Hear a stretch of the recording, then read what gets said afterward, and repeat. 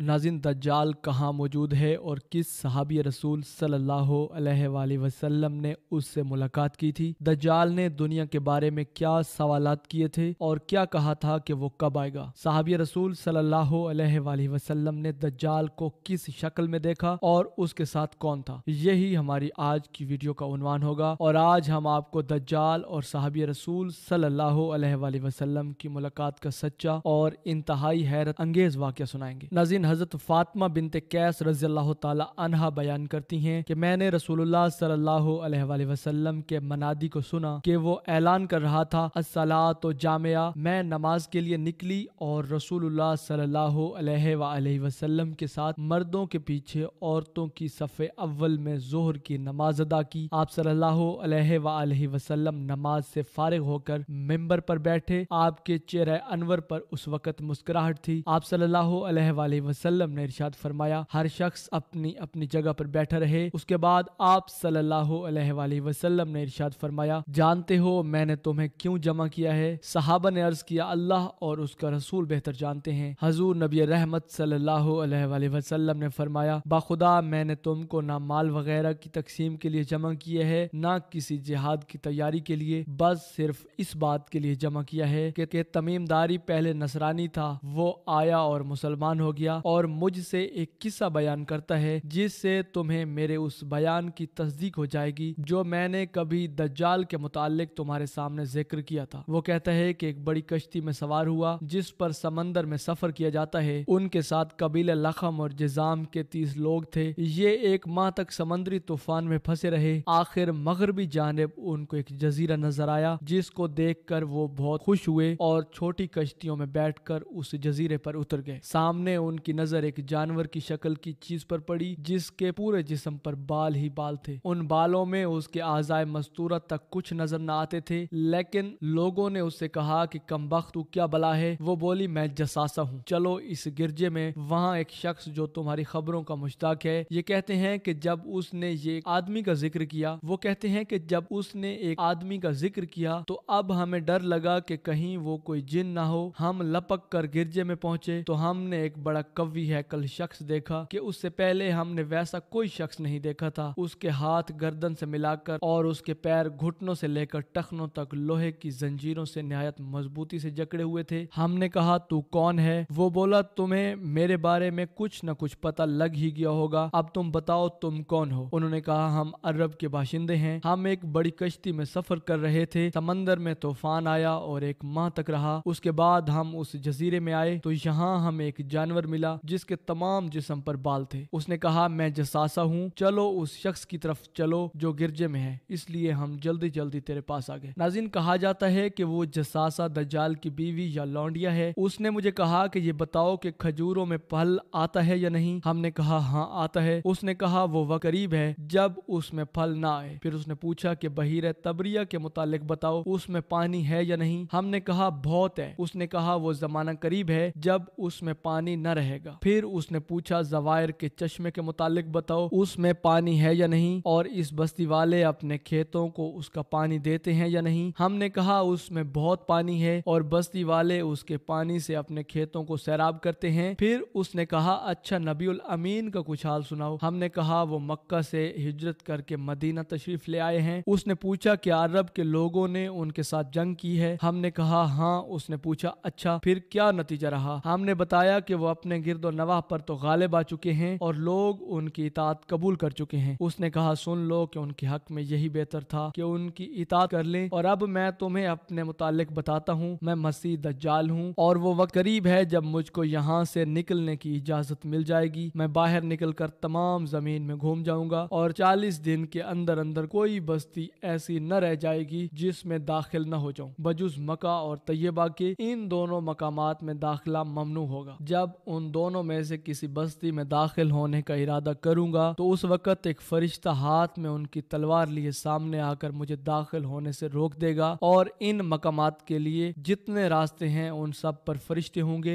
जो उन मकामात की हिफाजत कर रहे होंगे। नाजिन हज़रत फातमा बिनते कैस रज़ी अल्लाह इरशाद फरमाती हैं कि उसके बाद रसूल कायनात इमामुलंबिया जनाब मोहम्मद रसूलुल्लाह सल्लल्लाहु अलैहि वसल्लम ने अपनी लकड़ी मिंबर पर मारकर इरशाद फरमाया, वो तैयबा तैयबा यानी मदीना है। फिर फरमाया, वो तैयबा यही मदीना है। फिर फरमाया, वो तैयबा यही मदीना है। ये जुमला तीन मरतबा इरशाद फरमाया। फिर फरमाया, देखो क्या यही बात मैंने तुमसे पहले बयान नहीं की थी। लोगों ने कहा, जी हाँ या रसोल्लाह आपने बयान फरमाई। फिर फरमाया, देखो, वो बहर शाम या यमन के मशरक की जानब है। और उस तरफ़ हाथ से इशारा फरमाया नजीन ये हदीस किताब सही मुस्लिम, जिल्द नंबर दो सफ़र नंबर चार सौ चार पर बाब किस्तुल जसा में मौजूद है। नजीन रिवायात के मुताबिक दजाल कोई फरिश्ता या जिन नहीं, बल्कि वो इंसान ही होगा। कयामत के करीब हज़रत ईसा अला नबी सलाम के नजूल से कुछ अरसा पहले आएगा। दजाल का खरूज असफहान के एक मकाम यहूदिया में होगा और वो चंद रोज में पूरी दुनिया की सैर कर लेगा। अलबत् मक् मुकरमा और मदीना मुनवरा और बैतुल मकदस में दाखिल नहीं हो सकेगा। जैसा कि अहादीस में आया है नजीन फितना दजाल से हिफाजत के लिए जो दुआएँ और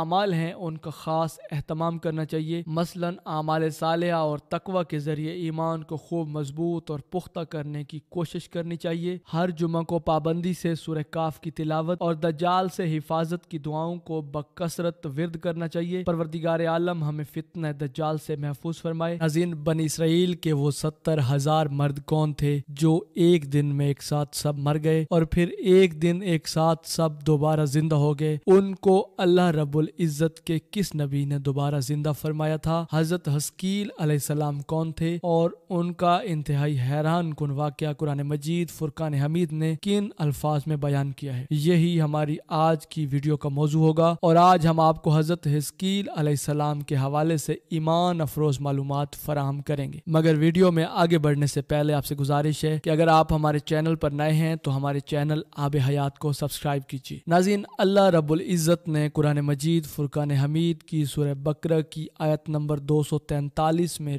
इरशाद फरमाया, क्या तुमने उन्हें नहीं देखा जो हज़ारों की तादाद में थे और मौत के डर के मारे अपने घरों से निकल खड़े हुए थे? अल्लाह सुबहान व ताला ने उन्हें फरमाया, मर जाओ। फिर उन्हें ज़िंदा कर दिया। बेशक अल्लाह सुबहान व ताला लोगों पर बड़ा फजल वाला है, लेकिन अक्सर लोग नाशुक्र हैं। नाजीन अल्लाह रबुल्जत ने इस आयत मुबारक में हज़रत हस्कील की कौम की तरफ़ इशारा फरमाया है। नजीन हज़रत हस्कील अल्लाह रबुल्जत के जलील पैगंबर हज़रत मूसा अला नबी सलाम के तीसरे खलीफा थे, जो मनसब नबूवत पर सरफराज किए गए। हज़रत मूसा सलाम की वफात के बाद आपके खलीफा अव्वल हज़रत योशा बिन नून सलाम थे, जिनको अल्लाह सुबहान व ने नबूवत अता फरमाई। उनके बाद हज़रत कालब बिन जोहन्ना सलाम हज़रत मूसा सलाम के खिलाफत से सरफराज होकर मरतबे पर फायज हुए। फिर उनके बाद हज़रत हस्कील सलाम हज़रत मूसा अला नबी सलाम के जानशीन और नबी हुए।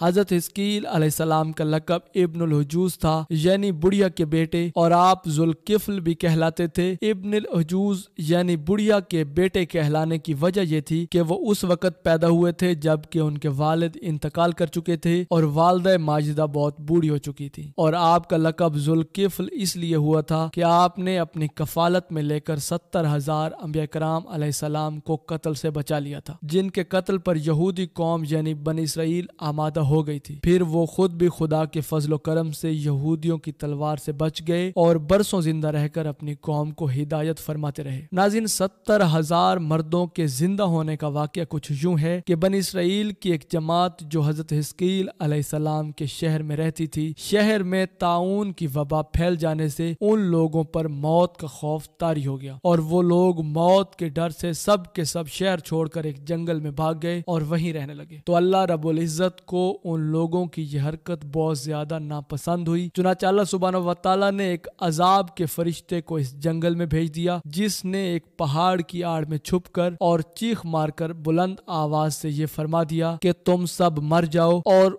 उस भयानक चीख को सुनकर बगैर किसी बीमारी के बिल्कुल अचानक वो सब के सब मर गए। जिनकी तादाद मुफसरीन और मौरखीन ने सत्तर हज़ार लिखी है। नजीन इन मुर्दों की तादाद इस कदर ज़्यादा थी कि लोग उनके कफन और दफन का कोई इंतज़ाम न कर सके और इन मुर्दों की लाशें खुले मैदान में बेगौर कफन आठ दिन तक पड़ी पड़ी सड़ने लगी और बे इंतहा बदबू से पूरे जंगल बल्कि उसके अतराफ में बदबू पैदा हो गई। कुछ लोगों ने उनकी लाशों पर पर रहम खाकर चारों तरफ़ से एक दीवार बना दी ताकि वो लाशें दरिंदों से महफूज रहें। नजीन, कुछ दिनों के बाद अल्लाह के पैगंबर हज़रत हस्कील सलाम का उस जंगल में उन लाशों के पास से गुजर हुआ तो अपनी कौम के सत्तर हज़ार इंसानों को इस नागहानी मौत और बेगौर कफन लाशों की फिरावानी देखकर रंजो गम से उनका दिल भर गया। आप दीदा हो गए और बारी तालक के दरबार में दुख भरे दिल से गिड़गिड़ा कर दुआ मांगने लगे कि, ए परवरदिगार आलम, ये मेरी कौम के अफराद थे, जो अपनी नादानी से ये गलती कर बैठे कि मौत के डर से शहर छोड़कर जंगल में आ गए। ये सब मेरे शहर के बाशिंदे हैं। इन लोगों से मुझे उनस था और ये लोग मेरे दुख सुख के शरीक थे। अफसोस कि मेरी कौम हलाक हो गई और मैं बिल्कुल अकेला रह गया हूँ। ए मेरे परवरदिगार, ये कौम थी जो तेरी हमद करती थी और तेरी तोहीद का ऐलान करती थी और तेरी किबरियाई का खुतबा पढ़ती थी। नजीन हज़रत हिस्कील सलाम बड़े सोजे दिल के साथ दुआ में मशगूल थे कि अचानक आप पर वही उतर पड़ी कि, ए हिस्कील सलाम इन बिखरी हुई हड्डियों से फरमा दीजिए। ए हड्डियों, बेशक अल्लाह सुबह ताला तुमको हुक्म फरमाता है कि तुम इकट्ठा हो जाओ। ये सुनकर बिखरी हुई हड्डियों में हरकत पैदा हुई और हर आदमी की हड्डियाँ जमा होकर हड्डियों के ढांचे बन गए। फिर ये वही आई कि, ए हिस्कील, आप फरमा दीजिए कि, ए हड्डियों, तुमको अल्लाह का यह हुक्म है कि तुम गोश्त पहन लो। ये कलाम सुनते ही फ़ौरन हड्डियों के ढांचों पर गोश्त पोस्ट चढ़ गए। फिर तीसरी बार ये वही नाजल हुई। ए अब ये कह दो कि ए मुर्दो, खुदा के हुक्म से तुम सब उठ कर खड़े हो जाओ। आपने ये फरमा दिया तो आपकी ज़ुबान से ये जुमला निकलते ही सत्तर हज़ार लाशें एकदम खड़ी हो गई। सुबह अल्लाह नाजीन, ये सब लोग जंगल से रवाना होकर अपने शहर में आकर दोबारा आबाद हो गए और अपनी उम्रों की मुद्दत भर ज़िंदा रहे। लेकिन उन लोगों पर इस मौत का ये असर और ये निशान बाकी रह गया कि उनकी औलाद के जिस्मों से सड़ी हुई लाश की बदबू आती रही और वो लोग जो कपड़ा भी पहनते थे, वो कफन की सूरत हो जाता था। और कब्र में जिस तरह कफन मैला हो जाता है, ऐसा ही मैलापन उनके कपड़ों पर नमूदार हो जाता था। ये असरात आज तक उन यहूदियों की औलाद में पाए जाते हैं, जो उन लोगों की नस्ल से बाकी रह गए हैं। नाजिन, ये अजीब व गरीब वाक़ कुरान मजीद, फुरकान हमीद की सुर बकरा में खुदा वंद कुदूस ने बयान फरमाया है। नाजिन, अल्लाह रब्बुल इज़्ज़त बड़ी कुदरत कामला और बड़ी शान अजमत और मकाम वाला है। उसने कुरान मजीद, फुरकान हमीद में ऐसे ऐसे वाकयात इर्शाद फरमाए हैं, जिन्हें सुनकर इंसान की अकल दंग रह जाती है और इंसान बेसाख्ता पुकार उठता है। अल्लाह